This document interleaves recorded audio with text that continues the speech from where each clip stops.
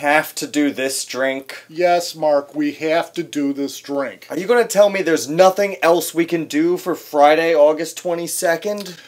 Okay, well, the Irish patriot Michael Collins was shot by the British on August 22nd, 1922.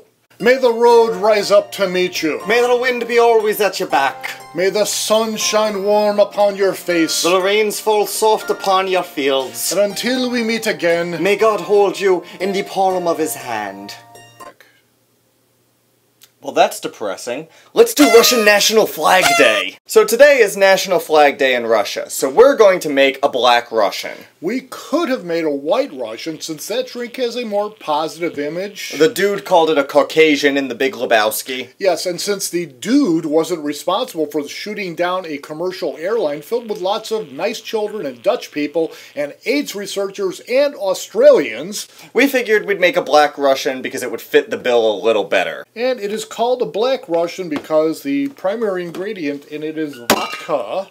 And so we have Kahlua. regular vodka here. My, Mark is making his with regular vodka.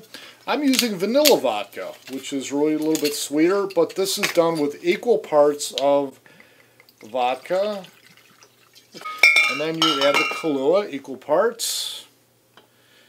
There we go, so that turns it black. Some recipes you'll see they don't call for as much Kahlua, but then it's not black, and that's kind of stupid because it's called a black Russian. Mm-hmm. And like I said, you can also make a white Russian by adding cream. So, what are we drinking to here? Pretty sure it's Screw Vladimir Putin. Yeah, that sounds good to me. Screw Vladimir Putin.